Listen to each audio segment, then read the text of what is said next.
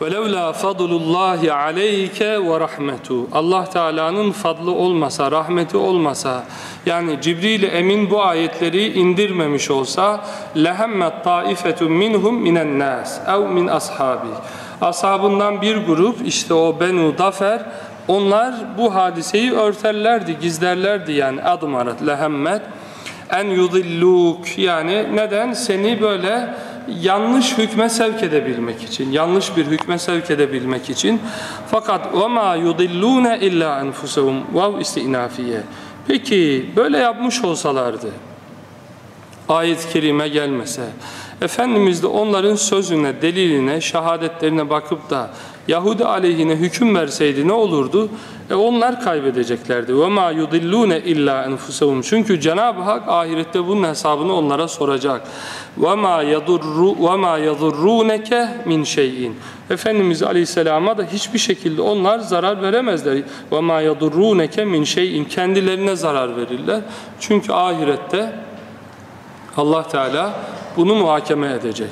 E yani hayatud el hayatud dünya yani deni bir hayat şu kadar sürecek bir hayat için bu kadar büyük bir cürme, bu kadar büyük bir günaha onlar irtikab etmiş oldular.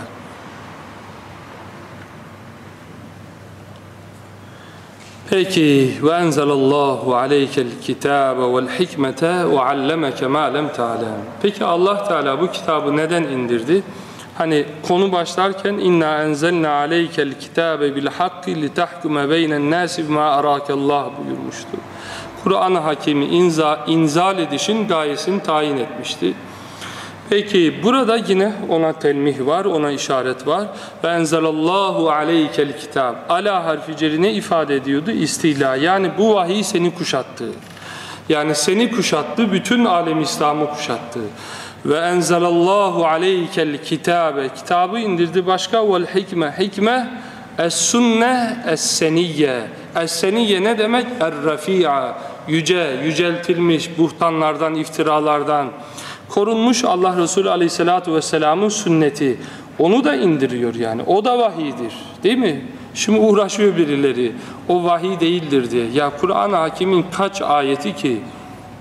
Şimdi o bahse girsek belki bir ders, bir ders o bahiste gider. Kaç bahiste, kaç ayet-i kerimede Cenab-ı Hak Efendimiz Aleyhisselatü Vesselam'ın sünneti seniyesinin, refiesinin yani o sünnet sünneti seniye kardeşim tamam mı? O sünneti ihsaniye değil, sünneti aliye değil, karıştırma, şaşı olma. Allah Resulü Aleyhisselatü Vesselam'a Ebu Cehil'in baktığı gibi bakma. Kur'an-ı Hakim'in zaviyesinden bak. Ebu Bekir'in zaviyesinden bak tabii ki. Şöyle yani muazzaz, muazzez muhatapları demiyorum ben onu da. O sünnete onların zaviyesinden bakanlara söylüyorum. Bu sünnet sünneti seniye. Yani Ali'nin, Hasan'ın, Hüseyin'in sünneti değil. Allah Resulü'nün sünneti. Peki hani diyor ya Mevlana kârı paken ra kıyas ez hodmegir gerçiman der nuvişten şiiru şiir. Yazılışta şiir aslan demek. Şiir süt demek. İkisi de aynı. Yazarken aynı yazıyorsun değil mi Farsça? Şir süt, şir aslan demek.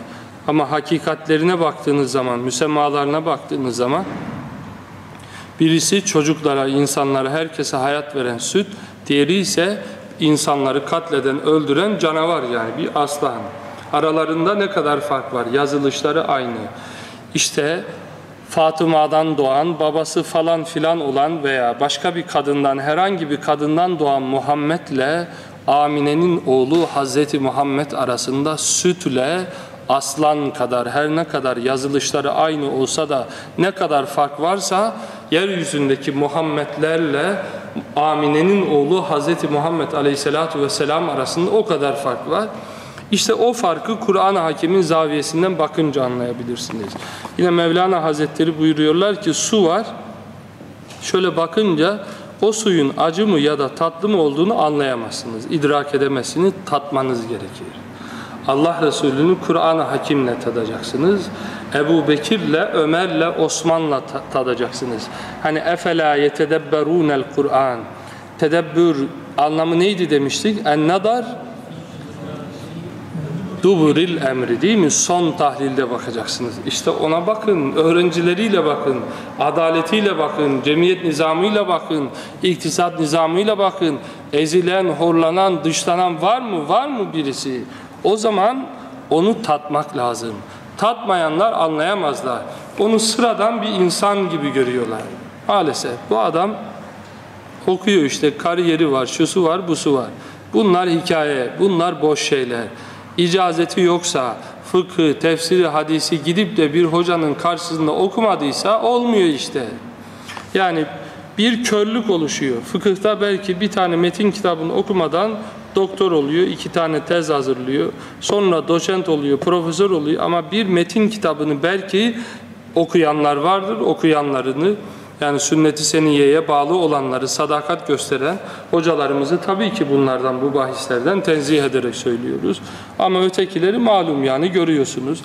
Dolayısıyla hakikat ortada. Ulema hakikat ortada. Ulema işte eserleri ortada. Onlar da ortada. Tatmak lazım yani. Oryantali zaviyeden bakarsanız sonra ne olur diyor İmam Rabbani Hazretleri. Eğer birisinde safra hastalığı varsa şekerin tadını alamaz. Değil mi? Rahimeullah. Peki şekerde mi kusur var? Kusur, problem, maraz onun dilinde hastalıktan dolayı şekerin tadını alamıyor. O halde şekeri değil o dili düzelteceksiniz. O adamı tedavi edeceksiniz. Problem sünnette değil. Onlar mikrop kapmışlar. Oryantalist mikrobu kapmışlar. Onun için zehirlemişler. Sünnetin tadını alamıyorlar. Bakamıyorlar yani. Es-sünne seniyye olarak bakamıyorlar. Es-sünne er-rafi'a olarak bakamıyorlar ona. Allah Teala o bakamayanlara da hepimize de evvela bize onlara hepimize Efendimiz Aleyhisselatü Vesselam'ı hakkıyla anlamayı o feraset nasip eylesin.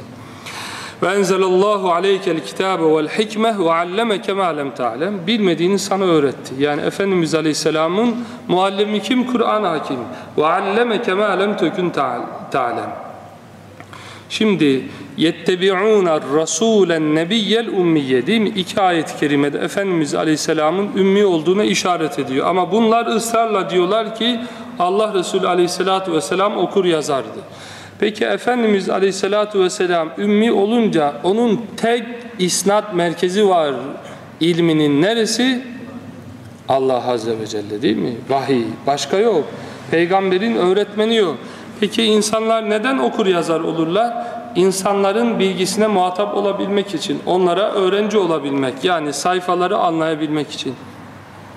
Peki Efendimizin muallimi ve alleme Adem'el esma'e kullaha thumma aradahum alel melaike olunca Allah Resulü Aleyhissalatu vesselam'ın öğretmene, öğretmene, kitaba, kitabı anlamak için okur yazar olmaya ihtiyacı var mı? Yok.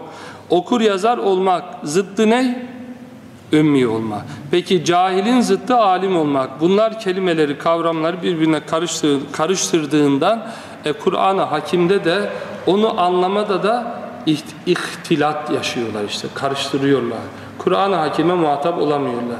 Evvela bunları almalı, bunlara ıslah öğretmeli değil mi? Islah. Mefahim öğretmeli. Evvela bunlara ıslahatı, ıslahatı göstermeli. Ve allemeke ma lem tekun ta'lem ve kana fadlullahi aleyke azima.